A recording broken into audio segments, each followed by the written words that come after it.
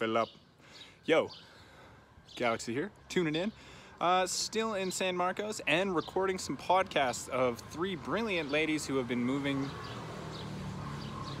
their young butts through Central America and Canada. From Canada, moving themselves through Central America. I got to re-meet them. They were at the blockade. They've traveled across Canada from the from the center and from the far side to make it all the way to Fairy Creek. So that's where I met them. Good people, loving the conversations. Uh, True Glue Talks podcast, check that out. And if you guys are suffering, maybe, I know in Australia in humid areas there is uh, fungus that can grow on your skin.